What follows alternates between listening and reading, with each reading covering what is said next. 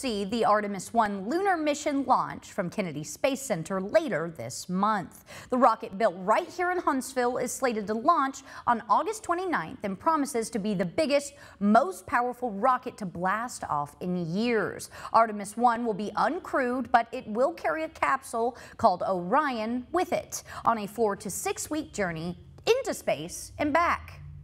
The Space Launch System, this rocket, is the only capable rocket of sending humans into deep space, and it's the most powerful in the world.